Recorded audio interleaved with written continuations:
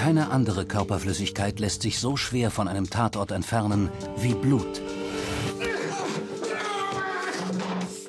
Morde, Überfälle und Vergewaltigungen hinterlassen fast immer verräterische Blutspuren, die von Ermittlern untersucht werden können. Bei einem gewalttätigen Überfall kann ein Angreifer kaum kontrollieren, wo das Blut seines Opfers landet oder welche Geheimnisse es verrät. Bei Angriffen werden manchmal kleine Arterien durchtrennt. Das Blut tritt dann im Rhythmus unseres Herzschlags aus.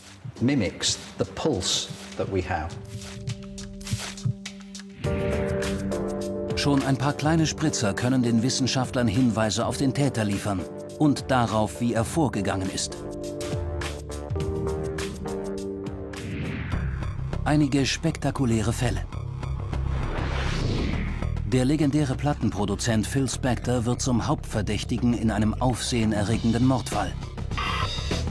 Blutspuren wurden auf seiner Kleidung gefunden. Ein Farmer will die Ermittler in die Irre führen, indem er einen Mord als Notwehr erscheinen lässt. Und wie nahezu unsichtbare Blutspritzer Experten täuschen können. Sie glauben nämlich, dass Sean Jenkins seine Pflegetochter brutal ermordet hat. Blutspuren an einem Tatort. Sie können darüber entscheiden, ob ein Mörder überführt wird oder davonkommt oder ein Unschuldiger ins Gefängnis muss.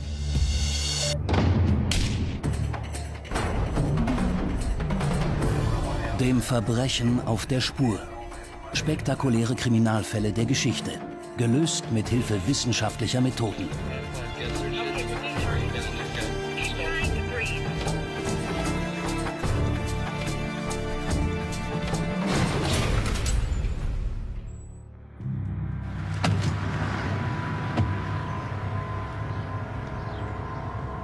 Bei nahezu jedem Gewaltverbrechen findet man Spuren von Körperflüssigkeiten am Tatort.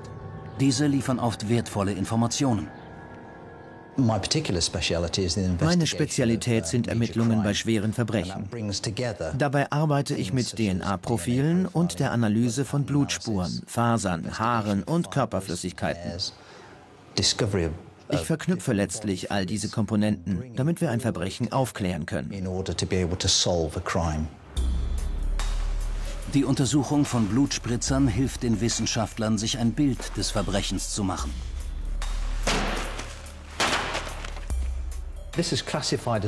Dies nennt man Schlagspritzspur. Wir sehen die oft an Tatorten, an denen jemand einen Menschen mit einem Gegenstand erschlagen hat. Ein Angriff oder Kampf lassen sich anhand von Länge, Position, Form und Höhe der Blutspuren erkennen. Oder ob es vielleicht ein Unfall war. Sogar Rückschlüsse auf die Tatwaffe sind möglich. Manchmal allerdings entpuppen sich selbst scheinbar offensichtliche Beweise dann doch als zweifelhaft. Dies ist ein Notruf. Was ist passiert? Ich weiß es nicht. Meine Tochter ist gestürzt und hat eine Kopfverletzung. Überall ist Blut. Der Fall schien eindeutig. Die 13 Jahre alte Billy Joe Jenkins wurde am 15. Februar 1997 in England brutal ermordet. Polizei und Forensiker stellten am Tatort fest, Sie war erschlagen worden, während sie die Terrassentüren im Haus ihrer Familie in Hastings strich.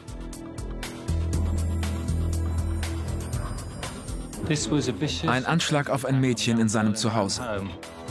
Am Tatort fanden die Ermittler unter anderem, was sie für die Mordwaffe hielten. Forensiker des Innenministeriums stellten bald fest, dass Billy Joe tatsächlich damit umgebracht worden war. Der Täter näherte sich wohl von hinten, nahm eine Metallstange, die gerade beim Aufräumen aufgetaucht war, und schlug mehrmals auf ihren Kopf ein. Die Jagd auf den Täter war eröffnet, landesweit und mit allen Mitteln.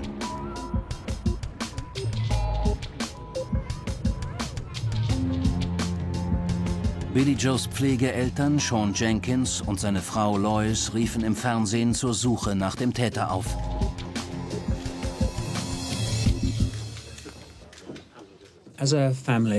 Unsere Familie ist am Boden zerstört. Wir verstehen nicht, warum unsere Tochter ermordet wurde oder was das Motiv gewesen sein könnte. Da ahnte Sean Jenkins noch nicht, dass er zum Hauptverdächtigen in diesem Fall werden würde. Die Ermittler hatten unter anderem Seans Kleidung aus dem Haus mitgenommen. Der Forensiker Adrian Wayne untersuchte alles.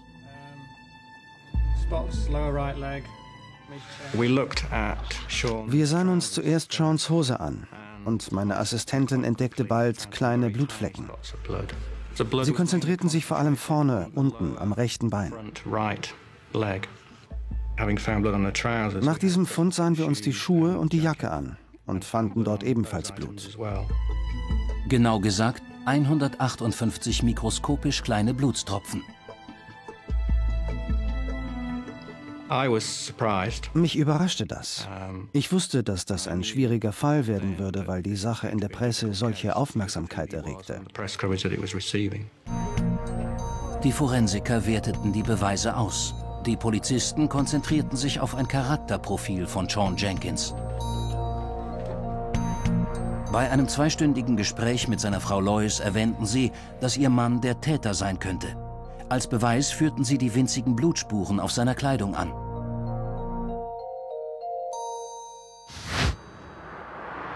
Sean Jenkins war stellvertretender Leiter einer großen Schule und in der Stadt sehr anerkannt. Als sie seine Vergangenheit durchleuchteten, entdeckten die Ermittler allerdings Ungereimtheiten. Es zeigte sich, dass er in seinem Lebenslauf nicht ganz ehrlich gewesen war, um seinen jetzigen Posten zu bekommen. Jenkins geriet immer stärker unter Verdacht. Es zeigte sich, die Blutflecken auf seiner Kleidung wirkten wie feiner Sprühnebel. Ein Indiz für die Ermittler. Sean Jenkins könnte der Angreifer gewesen sein.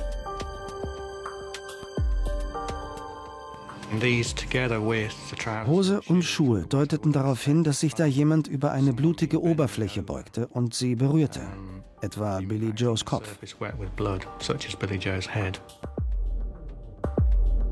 Jenkins wurde verhaftet. Seine bürgerliche Existenz war zerstört.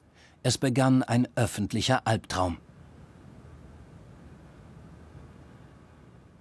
Sean David Jenkins aus Hastings, 29 Jahre alt, wurde heute Nachmittag des Mordes an Billy Joe Jenkins beschuldigt. Der Fall berührte einen Nerv. 1998 begann Sean Jenkins Prozess und er stand sofort im Mittelpunkt des Medieninteresses. Zeitungen und Fernsehsender spekulierten über jeden Aspekt des Falles. Die Staatsanwaltschaft rekonstruierte den Ablauf des Mordtages. Den Geschworenen wurden Bilder einer Überwachungskamera vom selben Vormittag gezeigt. Jenkins und eine seiner Töchter in einem Supermarkt. Laut Anklage hatte er beim Nachhausekommen im Streit mit Billy Joe die Beherrschung verloren. Und sie mit der Metallstange mehrfach auf den Kopf geschlagen. Dann sei er wieder in den Wagen gestiegen und in einen Baumarkt gefahren, um sich ein Alibi zu verschaffen. Der gesamte Angriff ging angeblich innerhalb von drei Minuten über die Bühne, während die beiden anderen Töchter im Auto warteten. Wieder zu Hause soll er die leblose Billy Joe auf der Terrasse gefunden und dann die Polizei gerufen haben.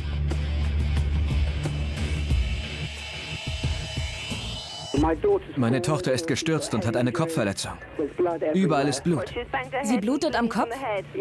Ja, nein, hier ist alles voll Blut. Sie liegt auf dem Boden. Ihr Name bitte?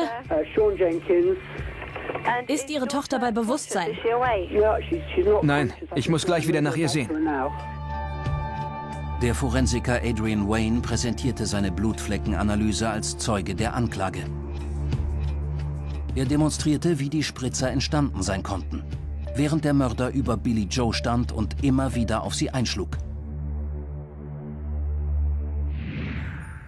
Jenkins Verteidiger Anthony Shrivner hatte eine andere Theorie, wie die Flecken auf die Kleidung gekommen sein könnten.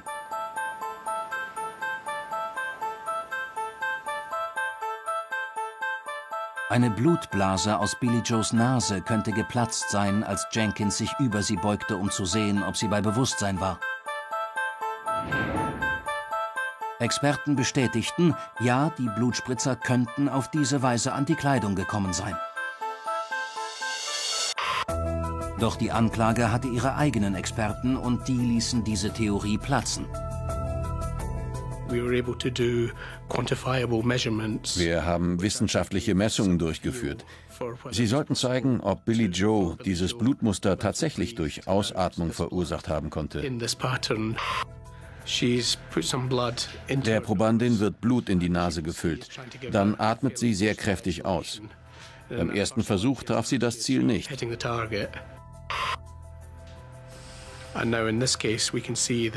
In diesem Fall hat sie Flecken auf dem Ziel erzeugt, aber sehr viel weniger als auf Seans Kleidung. Also es gab aber auch die Möglichkeit, dass beim Bewegen des Körpers Luft durch die Nase austrat und eine solche Blase erzeugte. In dieser Situation kam die Blutspritze aber nicht so hoch hinauf. Und die Flecken fanden sich ja nicht nur auf Seans Hose, sondern auch auf seiner Jacke.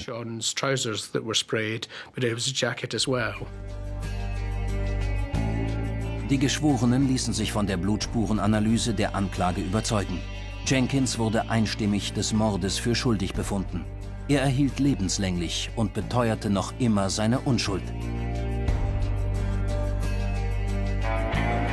Jenkins kam ins Gefängnis, aber seine Verteidiger ließen nicht locker und suchten weiter nach einer anderen Erklärung für das Blut auf seiner Kleidung.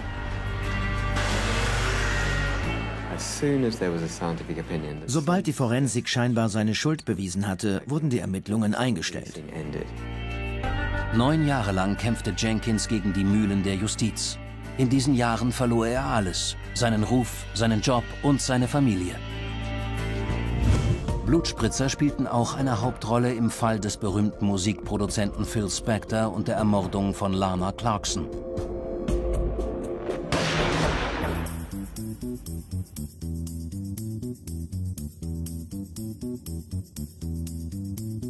Anfang Februar 2003 lernte Spector die Ex-Schauspielerin Lana Clarkson in einem Club auf dem Sunset Boulevard in Los Angeles kennen. Die beiden tanzten und fuhren dann zu Spectors Anwesen, dem Pyrenees Castle im kalifornischen Alhambra.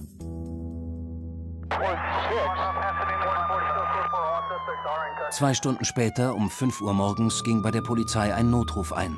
Von Spectors Fahrer.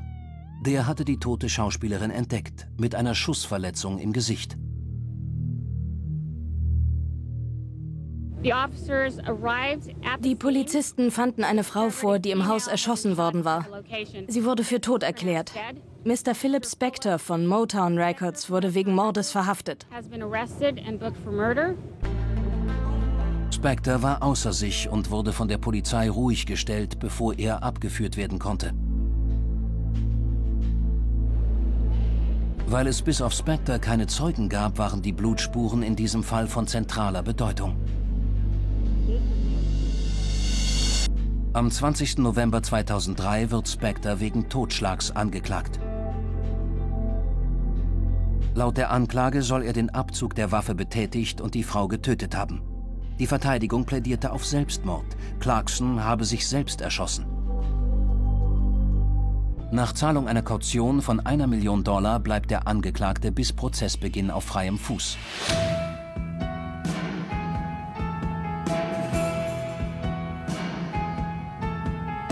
Und das dauert eine ganze Weile. Erst 2007, vier Jahre und einen Monat nach Clarksons Tod, kommt der Fall vor Gericht. Als Produzent erfand Phil Spector das Konzept der Girl Band und wurde damit zum Millionär. Vier Jahrzehnte lang arbeitete er mit allen Größen des Musikgeschäfts. Kein Wunder, dass sein Prozess zum weltweiten Medienereignis wurde bei der Anklage? Sie werden erfahren, dass der mutmaßliche Täter schon zuvor Gewalt gegen Frauen ausübte, dass er die Beherrschung verlor und Wutanfälle bekam. Der Tatort war bis ins kleinste Detail untersucht. Die Geschworenen sehen auf einer Leinwand Bilder vom Tatort.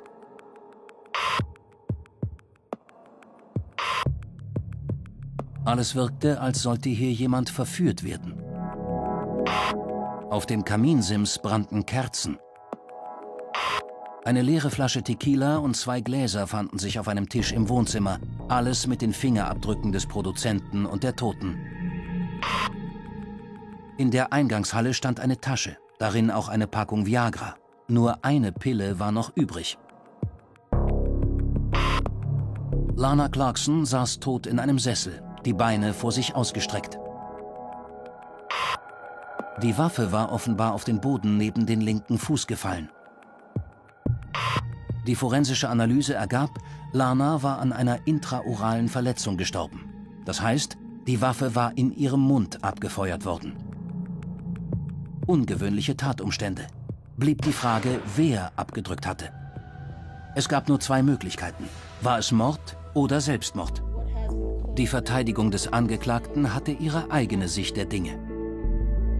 Danach war Lana depressiv, weil sie keinen Erfolg als Schauspielerin hatte. Deshalb habe sie sich das Leben genommen. Ein zentraler Punkt sollte das beweisen. War Spectre überhaupt so nahe bei Lana, um ihr in den Mund zu schießen? Oder konnte er gar nicht der Mörder sein, weil er einfach zu weit weg stand? Uh, Weist diese Jacke am rechten oder linken Ärmel Blutspritzer auf? So verteilt, dass es auf Nähe zum Mund des Opfers hinweist? Uh,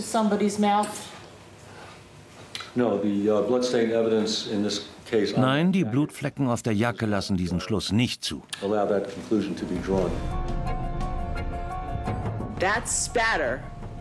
Das Blut, das auf den Händen, dem Handgelenk, der Jacke und dem Kleid des Opfers war, hätte sich auch über Philip Spector verteilt, wenn er die Waffe in ihren Mund geschoben und abgedrückt hätte.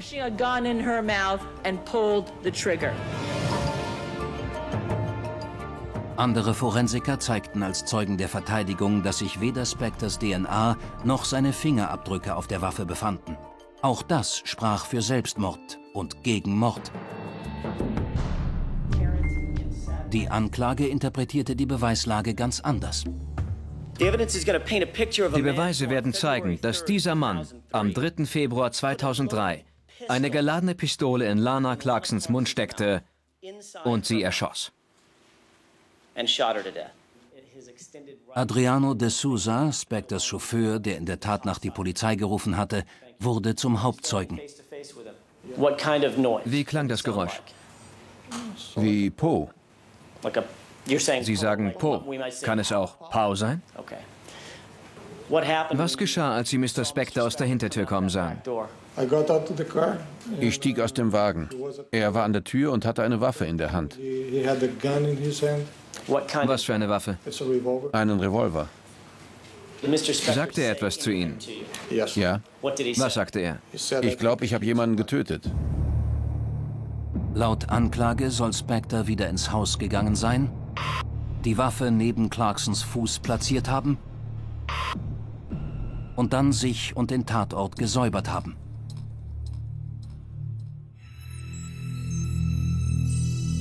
Spectors ungewöhnlicher Lebensstil wird unter die Lupe genommen. Vor allem seine bizarre Obsession, Waffen als verführerische Accessoires zu verwenden. Eine Reihe von Frauen sagt aus, dass der Produzent im Lauf der Jahre immer wieder mal Waffen auf sie gerichtet habe, meist nach übermäßigem Alkoholkonsum. Laut Anklage hatte Spector das im Lauf von 30 Jahren vielen Frauen angetan. Aber nie zuvor hatte er dabei abgedrückt. Diesmal war die Situation wohl aus dem Ruder gelaufen. Angesichts der widerstreitenden forensischen Meinungen und der so unterschiedlichen Auslegungen konnten sich die Geschworenen nicht einigen. Die Jury kommt zu keinem Urteil. Der Prozess ist gescheitert. Mehr als ein Jahr später, Ende Oktober 2008, beginnt der zweite Prozess gegen Phil Spector. Kann sein VIP-Status ihn dieses Mal retten? Wieder spielen die forensischen Beweise die entscheidende Rolle. Am 13. April 2009 fällen die Geschworenen nach 30 Stunden Beratung ihr Urteil. Wir, die Geschworenen, halten Philip Spector des Totschlags an Lana Clarkson für schuldig. Der 69-Jährige wurde zu 15 Jahren bis lebenslänglich verurteilt.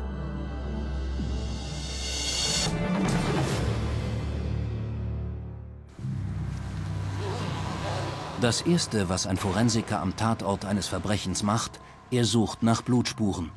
Der Faktor Blut, er kann helfen, den Tathergang zu rekonstruieren. Blutspurenanalytiker heißen die Experten auf diesem Gebiet. Ein Tropfen Blut, ein bestimmtes Muster, für sie alles wichtige Hinweise. Zu den einfachsten Blutspuren, die man finden kann, zählen einzelne Tropfen. Oft schneidet sich der Täter während der Tat selbst. Falls er blutet, hinterlässt er meist eine Blutspur, wenn er sich vom Tatort entfernt.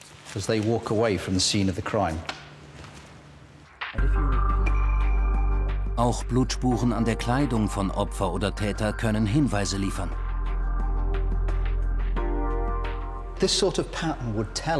So ein Muster zeigt uns, dass jemand sich nicht bewegt hat.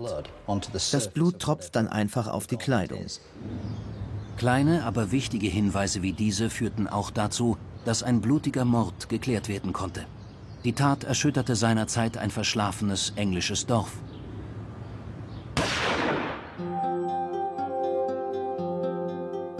Kurz vor Mitternacht fallen Schüsse in einem Haus. Man weiß, die Bewohner stehen im Zentrum einer seltsamen Hasskampagne.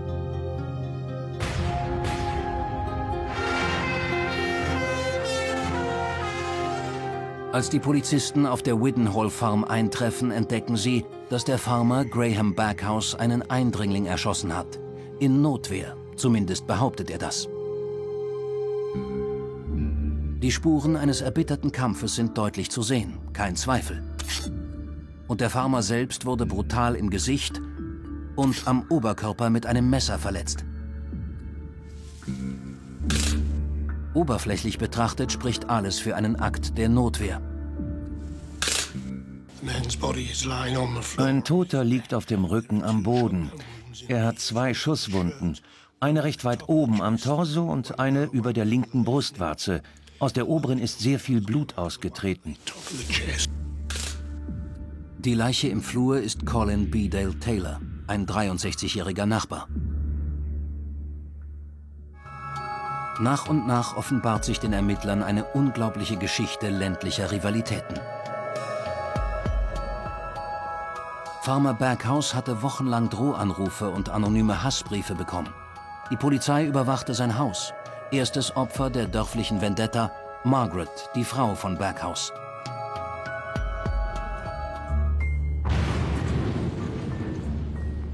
Im Auto ihres Mannes detonierte eine Rohrbombe. Der Anschlag galt offensichtlich ihm. Es traf Margaret. Sie erlitt schwere Verletzungen an Beinen und Rücken, überlebte aber wie durch ein Wunder. Das war eine besonders schlimme Bombe. Neben dem Explosivstoff Nitroglycerin befanden sich in dem Rohr 4500 Bleikugeln in einer Blechdose.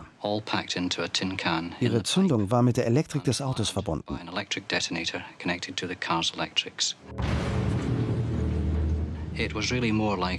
Das war eher wie ein Schuss aus einer abgesägten Schrotflinte als eine Bombe.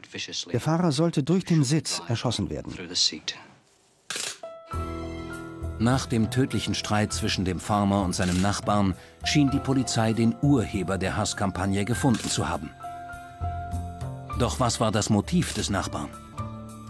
Im Krankenhaus schildert der verletzte Farmer die Geschehnisse jener Nacht, wie alles angeblich passierte.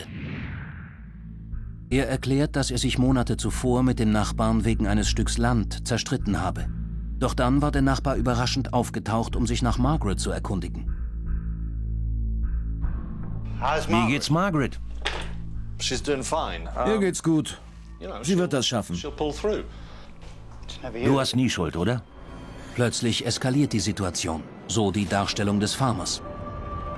Taylor greift ihn brutal mit dem Messer an und schreit dabei, dass er nur Gottes Werk vollende.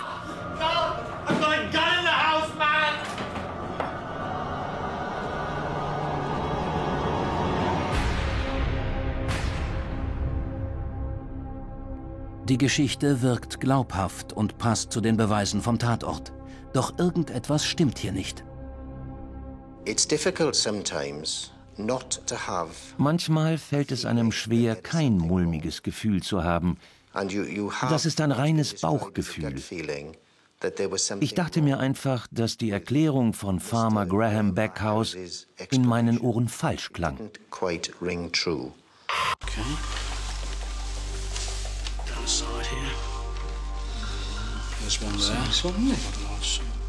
Die Forensiker kommen schließlich der Wahrheit auf die Spur. Und die ist erschreckend.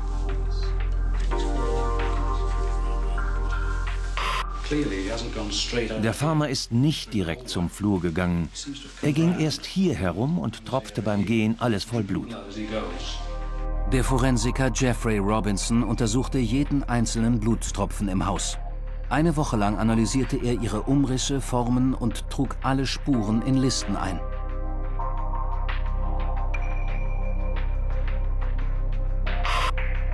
Was er entdeckte, widersprach der Schilderung des Farmers. Nach einem erbitterten Kampf hätten die Blutspuren anders ausgesehen. Das Blut hätte mehr gespritzt. Es gäbe Flecken, die auslaufen, was auf heftige Bewegungen hinweist. Aber keine der Blutspuren deutete wirklich darauf hin, dass hier ein Kampf stattgefunden hatte. Das Aussehen der perfekt runden Blutflecken in der Küche sagt mir, dass der Farmer unmöglich aus der Küche geflohen war. Er stand ganz ruhig an mehreren Stellen und das Blut tropfte herunter. Doch wenn es keinen Kampf gab, woher hatte der verletzte Farmer dann die furchtbaren Schnittwunden im Gesicht und am Körper? Mein Problem war folgendes. Wenn er sich diese großen Wunden selbst zugefügt hatte, wie ertrug er die Schmerzen? Die schlimme Wunde am Torso war 46 cm lang und an einigen Stellen fast 8 cm tief. Ein schwieriger Fall für die Forensiker.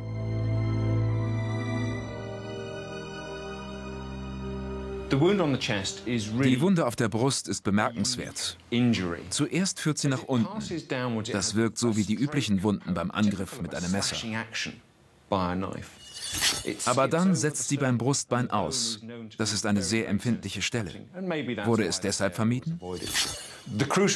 Besonders wichtig ist aber, wie die Wunde nach rechts verläuft.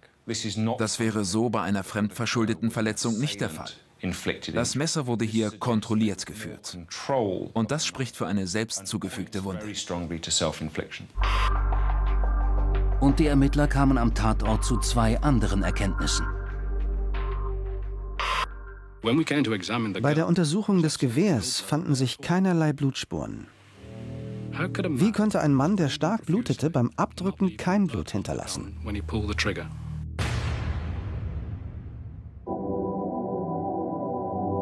Und hatte der erschossene Nachbar wirklich ein Messer in der Hand?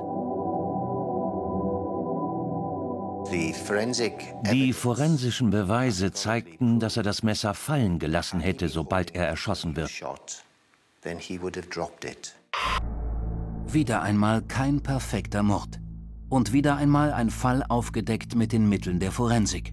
Die Ermittler waren sicher, dass der Farmer sich das ganze Szenario nur ausgedacht hatte. Sie mussten ihn mit den Beweisen nur noch festnageln.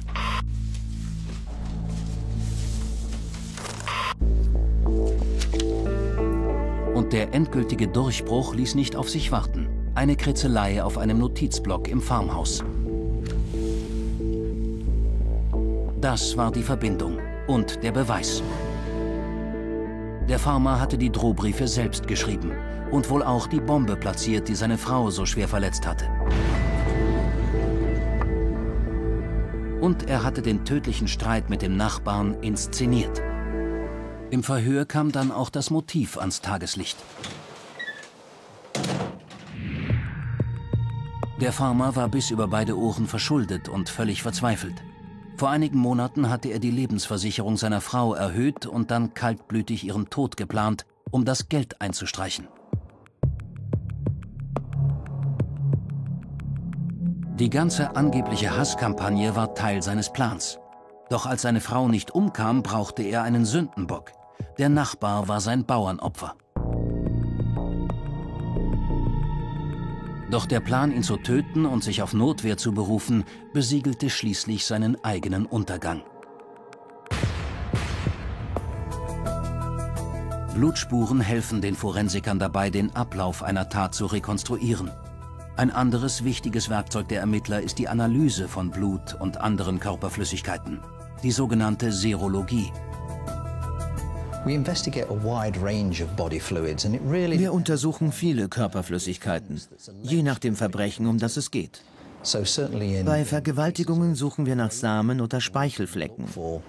Diese können wir testen und zuordnen. Uh, we can test those, we can identify them. Die Serologie kann viel, beweisen, wer am Tatort war und wann die Tat geschah.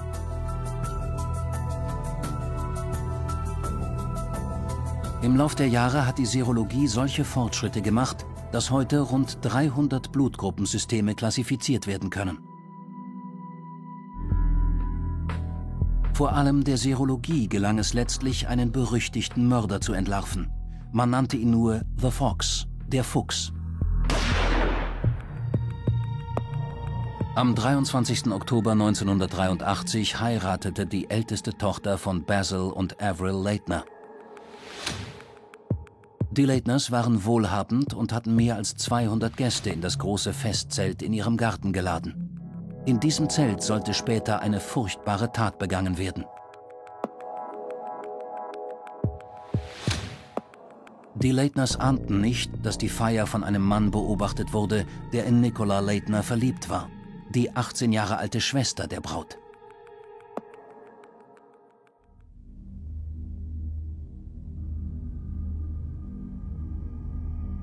In der Nacht wurde Nicola durch den Lärm eines erbitterten Kampfes geweckt. Ihre Schlafzimmertür wurde aufgerissen. Eine Taschenlampe leuchtete ihr ins Gesicht und ein Mann sagte, dass sie still sein solle, sonst würde sie sterben, wie schon ihre Eltern und ihr Bruder.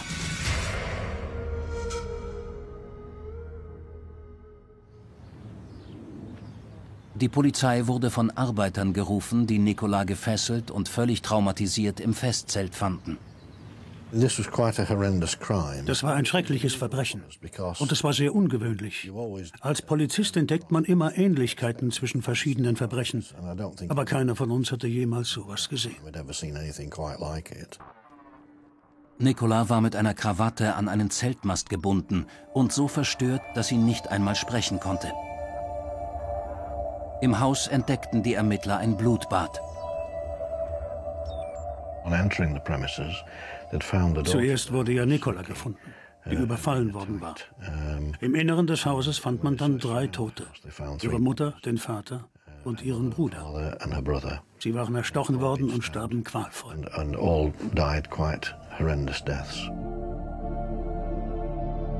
Zehn Tage lang durchforstete die Polizei alles auf Hinweise.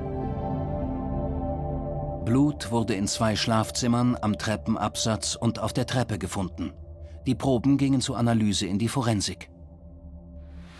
Die Polizei versorgte die Medien sofort mit Details. Ein eher unüblicher Schachzug. Der sich als Vorteil erwies. Ein alter Kollege rief an und meinte, das klingt nach einem Mann, der aus der Polizeistation in Selby getürmt ist. Der Verdächtige war ein 42 Jahre alter Fitness-Fanatiker namens Arthur Hutchinson. Hutchinson war wegen eines Vergewaltigungsfalles festgenommen worden. Bei der Flucht war er aus einem Fenster im ersten Stock und über eine Mauer mit Stacheldraht gesprungen. Dabei hatte er sich eine schwere Verletzung am Bein zugezogen. Die Polizei hatte nun einen Hauptverdächtigen, doch sie brauchte noch eine Verbindung zum Leitner-Fall. Die Ermittler hofften, dass die Blutflecken sie weiterbringen würden. Frühere Blutproben aus dem Vergewaltigungsfall zeigten, dass Hutchinson eine seltene Blutgruppe hatte.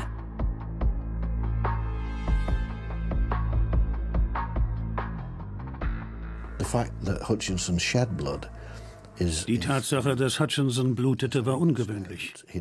Aber er hatte sich bei der Flucht ja diese Wunde zugezogen, die nur schwer verheilte. Und wir konnten letztlich zeigen, dass er auf dem Bett gekniet hatte, als er das Opfer vergewaltigte. Dabei hinterließ er den Abdruck seiner Wunde am rechten Knie auf dem Laken. Das war das Blut, das wir brauchten. Die Proben vom Tatort wurden analysiert. Die Wissenschaftler identifizierten eine seltene Kombination aus Blutfaktoren. Alle in diesem Fall hatten die Blutgruppe 0, eine häufige Blutgruppe. Bei Hutchinson sah das Ergebnis ganz anders aus. Er gehörte zu einer sehr seltenen Gruppe, wenn man den nationalen Durchschnitt betrachtete.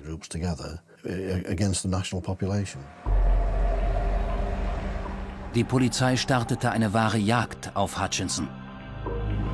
Doch der Fuchs war ständig unterwegs. Er fuhr mit dem Zug in den Nordosten und kontaktierte erst seine Schwester und dann seine Mutter. Am 4. November wird er im Ort Hartlepool gesehen, nicht weit weg vom Haus seiner Mutter. Ein Nachbar ruft die Polizei. Wir wussten, dass er in Hartlepool gesehen worden war. Wir schickten also ein großes Team hin und ein Flugzeug. Einer unserer Leiter war Freizeitpilot und er half uns mit dem Flugzeug bei der Suche. Während der Nacht passierte nichts. Doch sobald es hell wurde, setzten 400 Mann ihre Jagd fort. Erst am späten Nachmittag, kurz vor Einbruch der Dämmerung, entdeckten sie Hutchinson in einem Feld und nahmen ihn fest. Er gab nicht so schnell auf. Es war eine ziemliche Jagd. Nach der Verhaftung musste Hutchinson ins Krankenhaus. Er hatte sich selbst mit einem Messer verletzt.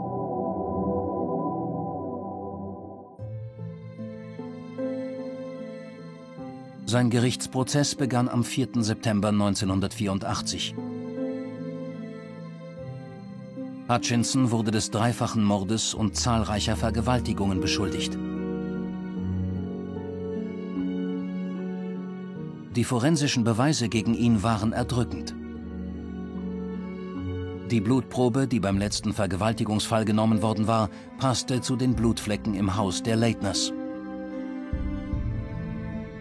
Das bestätigte endgültig den Verdacht gegen ihn.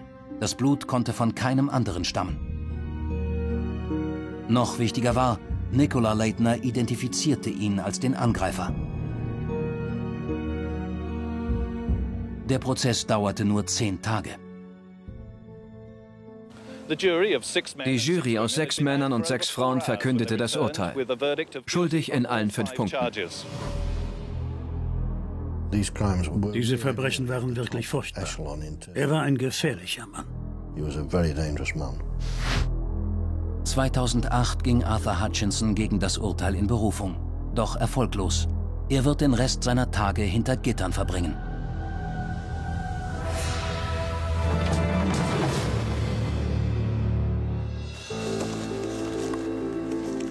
Die Blutspurenanalytiker haben eine Reihe von Experimenten auf Lager, um die Muster, die am Tatort gefunden werden, zu rekonstruieren.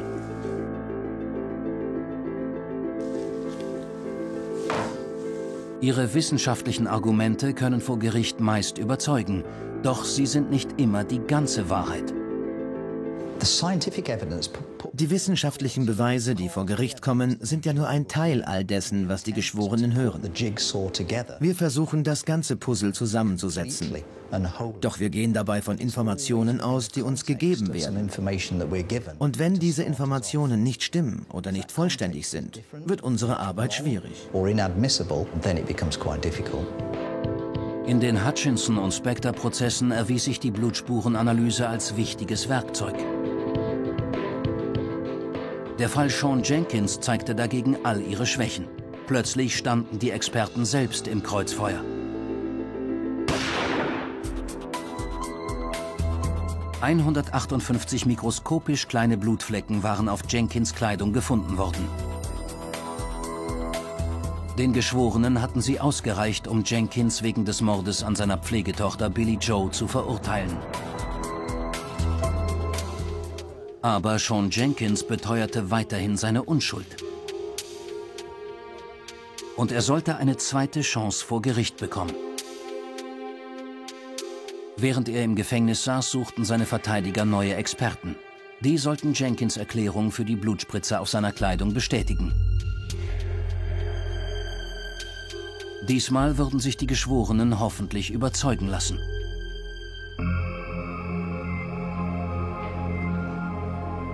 Im August 2004 wurde das Verfahren aufgrund zweier wichtiger neuer Punkte wieder aufgenommen. Jenkins eigene Tochter war inzwischen alt genug, um auszusagen und entlastete ihren Vater. Und es gab neue medizinische Beweise, die seine ursprünglichen Angaben stützten. Professor David Dennison fand in Billy Joes Lungen Hinweise auf eine seltene Erkrankung.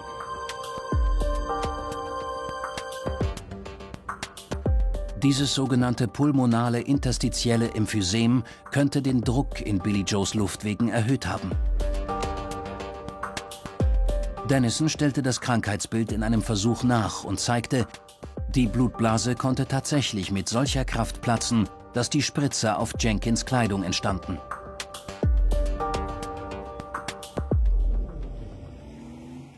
Angesichts dieser neuen Beweise ordnete das Berufungsgericht ein neues Verfahren an. Jenkins wurde auf Kaution freigelassen. Anklage und Verteidigung konsultierten wegen der Flecken fast 30 Experten aus der ganzen Welt. Der Kanadier Joe Slamko zählte zu den Fachleuten, die eine neue Interpretation der Beweise lieferten. Uh, Mir fiel vor allem das Muster der Spritzer im Brustbereich der Jacke auf. Uh, Die Flecken lagen dort auf engem Raum so dicht beieinander, dass sie nur beim Ausatmen entstanden sein konnten.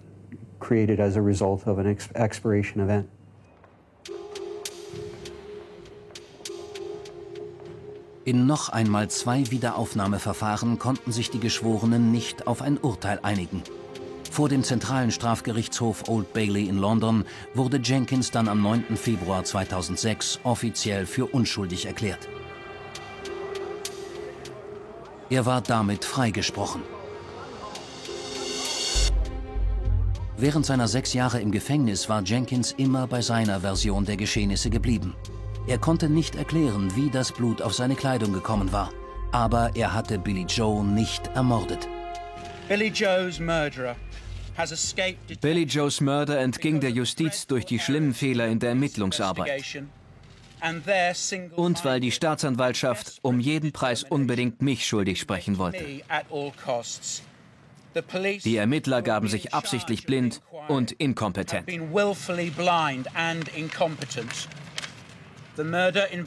Die Mordermittlung muss sofort wieder aufgenommen werden. Mit einem neuen Team, das sich bemüht, Billy Joes Killer zu finden.